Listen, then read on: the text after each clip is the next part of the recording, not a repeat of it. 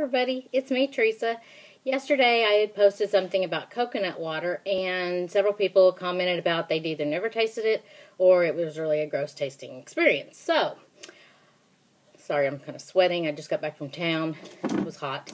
So, while I was in town, I decided to pick up a couple of different brands of coconut water. I've got one and uh, I can't read it think it says real. Hang on. Real coconut water. Okay. Uh, they've been in the refrigerator for about, mm, not very long, 15 minutes. So here, let's start with the real. I broke the seal on it already because uh, it was, I had to cut it. So here is real coconut water. Ready?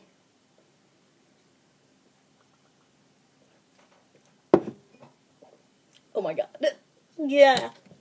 Hang on.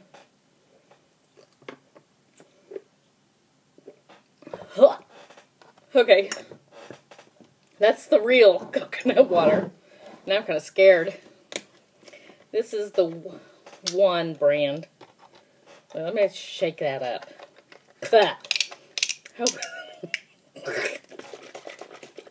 okay. So my eyes are watering. Okay one coconut water.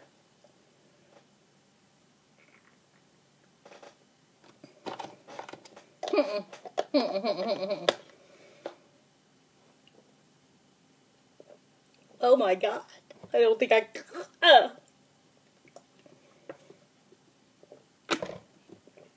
Oh my god. Okay.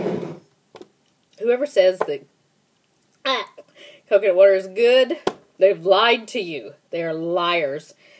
it is not good. okay.